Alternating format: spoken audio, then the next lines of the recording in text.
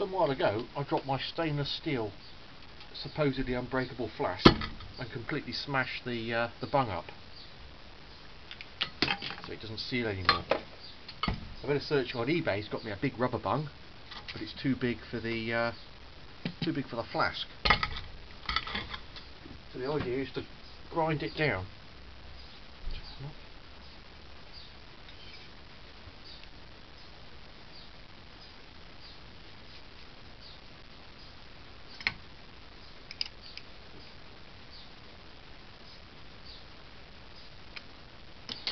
Put a nut through the middle of the, uh, the pre-made hole because it's for brewing the bung.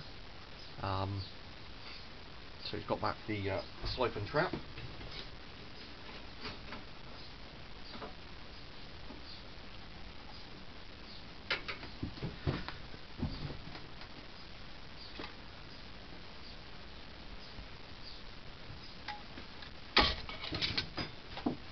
Safety first.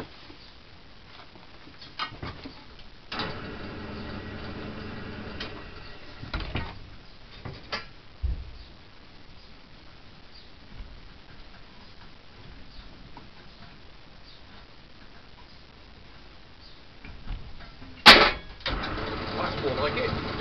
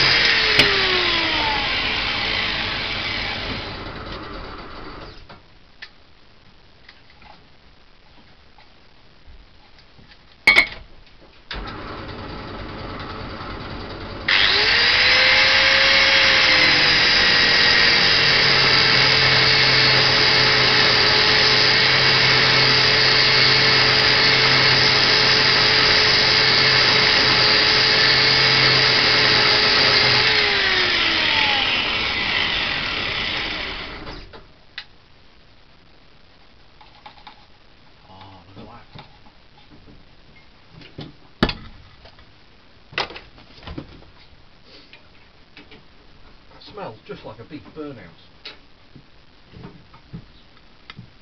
Here we are. One resurrected flask. All for about £2.50. Wubbooey.